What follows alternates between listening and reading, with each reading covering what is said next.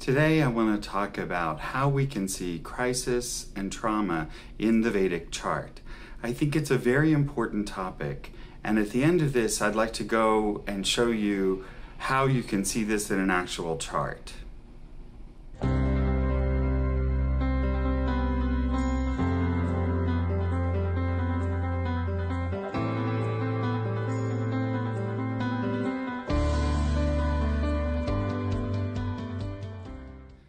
I'm Ramdas Bill Sinclair, and I hope you'll like and subscribe to this video. So, in addition to being a Vedic astrologer, I'm also have my master's degree in social work and work as a psychotherapist.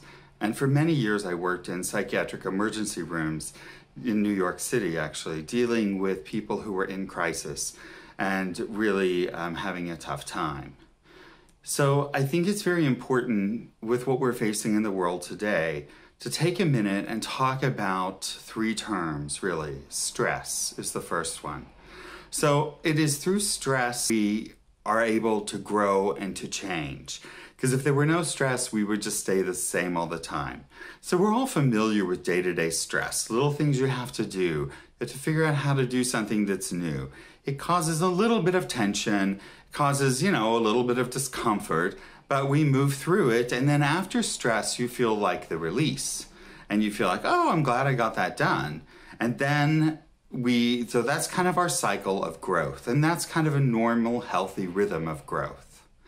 When we come to talk about a crisis, however, that's different. It's the next step up.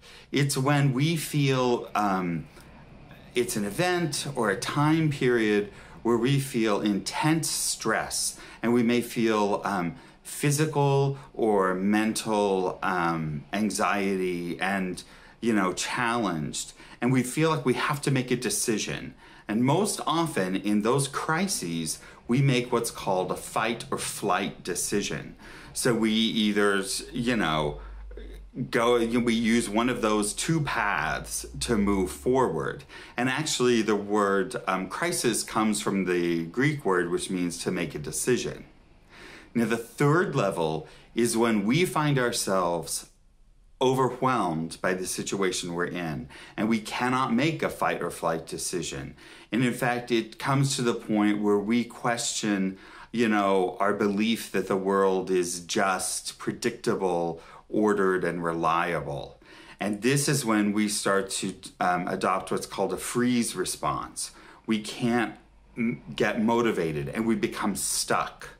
And when we do this, and this can be again physically or mentally, we uh, are experiencing or entering into the realm of trauma, and it has many different layers and many different manifestations. But what I found very interesting is that the word trauma comes from the Greek word which means a wound. So something happens that we get stuck and we're not able to deal with, and it creates a wound that then we must work towards healing. And so we have to then take more active steps to recover from this trauma. So, in our everyday lives, stress leads to resilience, coming up with a new plan, and recovery. When we start to experience these other two things of crisis and trauma, we have to still remember that we're working towards um, engaging our resilient senses, our resilient abilities, and coping skills to move forward and do that. So, kind of with that general outline, I want to talk about how we can look in the Vedic chart and see times when um, the stress is likely to go into crisis or into even trauma, and how we then even have a choice to either um, recover from it or to um, repress it. So, the three houses I look at are the sixth house, which is really the house of crisis. And then we look at the eighth house, which is the house of trauma, and it's more stuck. And finally, we look at the 12th house, which is the choice to either um, it's the outcomes of either repressing or um, uh, building resilience. So the sixth house I, I liken to the planet Mars because it's sudden, it's unexpected, and it's usually it's very very intense and it's also the action to fight or flee those are very mars type of things In the eighth house, the karaka, the natural indicator of this house, is Saturn. And so it's something where we really, get stuck and it becomes very intense and we feel um, compressed and limited and not able to move past it. And then uh, the 12th house is again resilience. And that also, I think, relates to um, Saturn as well. So, as we're looking at these three houses, I want to point out that you can study them from the Lagna and also from the Chandra Lagna, the moon's rising sign. And that will give you some physical and also some mental um, reactions. And really, what we're looking for is if there's a confluence, if there's an overlap in two of them, that's going to give you a prediction, you know, or an indication that this is going to be a little more seriously. So, in general, what we're looking at is any planets that are in the 6th, 8th, or 12th. And we're looking at the lords of the 6th, 8th, and 12th. Now, if um, the um, either of those planets, the planets or the lords, are ruling or in the third, the seventh, or the eleventh house, this actually indicates that the trauma may bring out um, more difficult coping mechanisms. So it's not a great sign for recovery and resilience. It can make the whole crisis um, deeper and harder to cope with. If, however, there the Lord is placed in one of the trine houses, the first, fifth, or the ninth, or the planets also rule one of the trines, this just kind of gives an indication that they may be able to, in general, you know, um, make it a little softer and use more positive coping mechanisms. The difficulty with the negative coping mechanisms is it tends to pile on more issues. As we're trying to resolve this, we're digging out of this, but we're creating another hole somewhere else, you know, that we then have to cope with in that way. So the sixth house is a great example of that because it's called the house of the Shadripu. And what that means is that often this is where we find the emotions of jealousy, anger, arrogance, um, infatuation, lust, and greed. And so it takes us kind of into a lot of these negative emotions that don't help us. They just tend to compound the trauma. Now, if you have malefics in the sixth house, it can be good because their malefic energy can give you the strength to fight off, to go into the battle and win, you know. And that's especially in the fight or flight response, it, it makes you very effective. Benefic planets can, um, can be good in the sense that they may make the whole um, issue a little easier. You may be a little more flexible and able to deal with it. But ten, generally, they don't do as well because they don't have the strength to really overcome this obstacle that has arisen. I mean, if it had if you've been able to use your normal coping mechanisms, you wouldn't be in the crisis kind of mindset, which is the sixth house. So let's move on to the eighth house. And this is really Saturn. The eighth house is also the house of the subconscious. So this is where things get stirred up that we are not even aware of. And so they tend to manifest that way and they it tends to be harder and harder to deal with. Um, any planet seated in the eighth house is going to lose its strength. So it's best if that house is empty. Now, the Lord of the eighth house also carries this energy. So wherever the Lord of the eighth house is seated, it's going to show where some of these, this trauma, if it arises, is likely to be impactful. So um, if it's like say in the 10th house, then it may be if you, the trauma could have something to do with your career, or it may have, you may come into a traumatic situation that negatively impacts your career.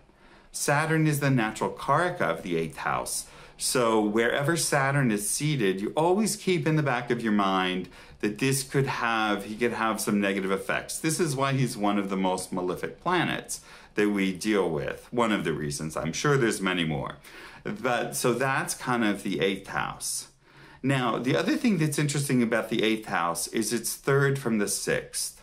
So ideas and thoughts and perceptions that come up in the sixth house manifest in the eighth. So all those negative emotions you've had in the sixth house, in when you go to the eighth house, they become compulsions, addictions, other long term negative patterns that only deepen the trauma and only make you um, go further away from finding your balance and working your way out of it. So it's kind of a self self fulfilling prophecy, kind of in the eighth house.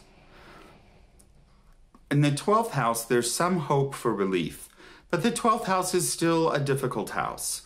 The hope from relief comes from the idea that it's seventh from the sixth house. So it's directly opposite. And so what arises in the sixth can often be resolved in the seventh. And additionally, it's the fifth house from the eighth house.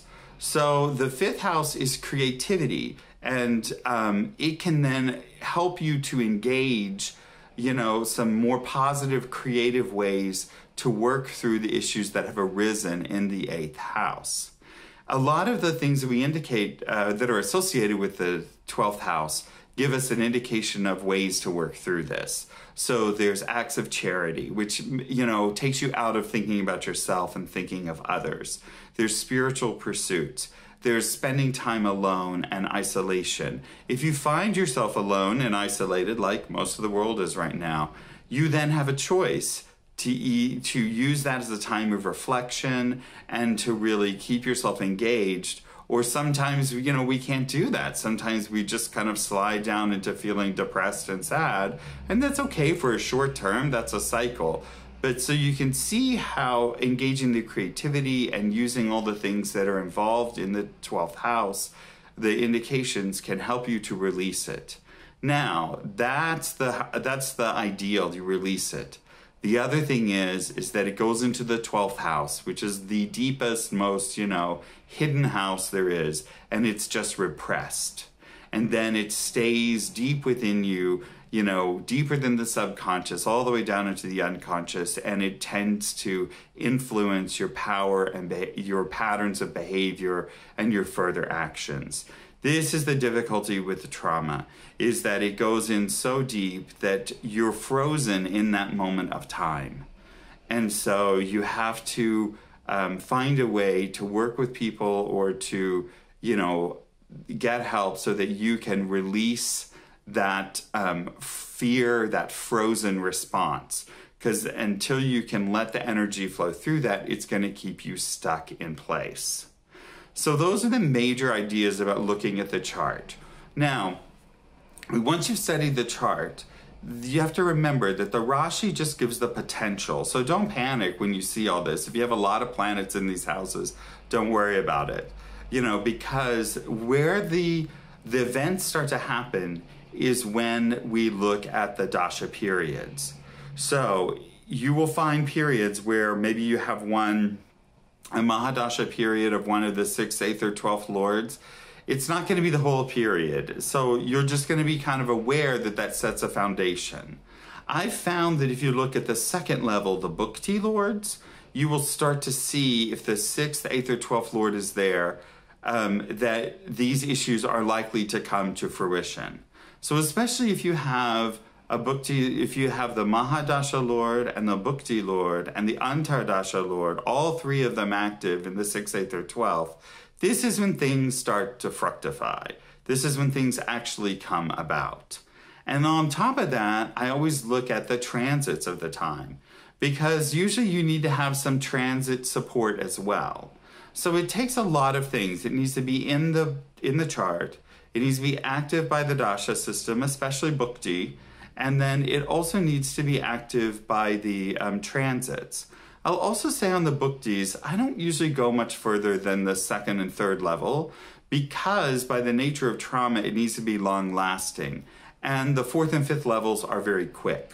So if you have, let's say you have them all stacked up on the third, fourth, and fifth level there, then that's going to be more like a crisis.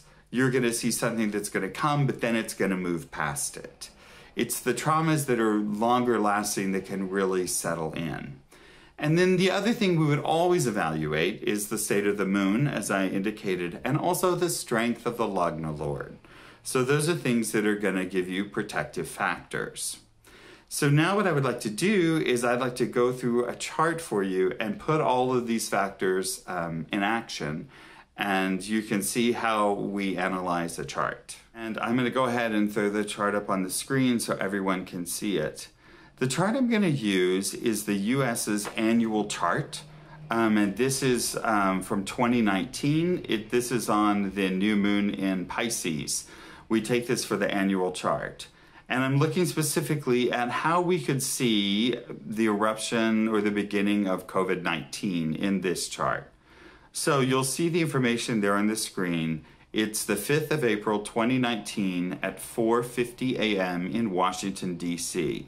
Now I want to note that this chart is only good for 1 year. It's only good until the next new moon in Pisces, and that just happened on March 24th of 2020. So we're looking at a 1-year period of time. So the first thing we see here is that Saturn, which we mentioned, always has some indications of, you know, the eighth house, is the ruler of the 12th house and also the ruler of the Lagna. But we see here in the initial chart that he's seated in the 11th house. Planets seated in the 11th house are considered to do very well. They bring in the results um, of all the things that come in. Now, because he's ruler of the 12th, this means he could bring us some issues with that relate to crisis and trauma. But the other thing we look at is let's look at the rulers of the sixth and the eighth. So we have here the sixth lord is the moon. Now, by the structure of this chart, the moon will always be a new moon, which is the most malefic placement for him. However, it's only three ascendants that could come up that would give him um, the rulership of the sixth, eighth, or twelfth. So we have to kind of check that off in our mind that the moon is new, but it's in the seventh house, it's ruler of the sixth house. And being placed in the second house, the second house is what we call a um, Maraka house. And that literally means dead. But in truth, it actually can be a time of great change and great, you know, um, shifting in the in the country for this chart. So we can expect that the sixth house may bring up some obstacles that will cause great changes in our life. And then finally, we look at the um, eighth house lord, which is Mercury, because his sign of Virgo is there in the eighth house. And Mercury is seated in the first house. This, whenever something is seated in the first house, it gives it a stronger manifestation when it comes along. So I want to start looking down the Vimshottari Dasha period, and I want to mention that I have changed the Vimshottari cycle so that it actually manifests the entire cycle in one year. Since this is a one-year chart, it's important that, you know, um, we get um, all the planets, all the Mahadashas will cycle through in one year. So, looking at this chart, on January 20th, the Saturn began his Mahadasha period. That's the 12th Lord and the Lagna Lord. And on January 21st, the first COVID 19 case um, in the US was confirmed. This is a man who had been to China. He was treated and he was released um, after he recovered. So we start to see that up until Saturn, which is the chart lord and the 12th lord, had a Mahadasha period there was really not a lot of attention, but we can see that the 12th Lord starts to give some results there. So January 21st, we see that, that uh, the first case was identified. But it's on January 24th, um, 2000, um, 2020, that Saturn moved into the 12th house in his own sign of Capricorn. Prior to this, he had been in the 11th house, as I said. So now we see something kind of interesting. The ascendant Lord and 12th house Lord moves into his own sign of the 12th house. So we have the 12th Lord in the 12th house, which gives a more impactful um, energy. It kind of doubles it. And it gives a direct aspect, as it always would, onto the sixth house. And it's widely said that Saturn's aspect is even worse than his placement. So suddenly we have an aspect here onto the sixth house, ruled by the moon and Cancer. And if we think about the body for a minute, Cancer does rule the chest and it's related to the lungs. So there could be some damage there to it, to that um, area of the body. Um, on February 22nd, so a month later, um, the Saturn Moon Dasha begins. So we now have the 12th and the 6th Lord running in the Dasha sequence. And so this starts to then activate a lot more. We have two levels. So we can see how the the idea of COVID was circling around, but no one was really taking it seriously. I mean, because we had had several scares before and it had never really manifested globally. But then on February 22nd, we got a second impact. And on the 26th of February, we had the first deaths in the US, and this was in the um, Washington nursing homes. So we can see kind of how a pattern developed and it began to um, to ramp up more and more. Also, I want to point out that on January 21st, sorry, on January 24th, when Saturn moved into the 12th house, that was also the day of the new moon in Capricorn. So there's something here. So the sixth lord was not only in chart, but it was weakest. But on the day that Saturn, the 12th lord, moved into his own sign, the moon, the sixth lord, was at his weakest point in the lunar cycle. So you can see how we can start to see something's going on there with the 6th and the 12th. Then on um, March 17th, Mercury, Mercury began. So we moved out of the um, Saturn cycle and into the Mercury Mahadasha. And of course, that is the eighth Lord. And it was in mid March that we began to close down many areas of the country. And so you think about eighth house is the freeze response, and literally the whole country was frozen, and we began to, you know, um, what um, shelter in place orders, kind of an eighth house. Um, kind of energy and feeling. So I hope this gives you a little idea about how you can study the sixth, the eighth, and the twelfth houses, look at their sign indications, look at transits to them, look at the dasha periods, and you can start to see times that are going to be problematic for yourself, for your family, for your clients.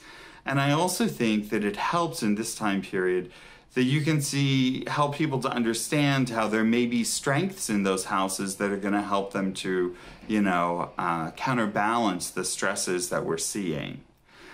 Um, I hope you have found this helpful.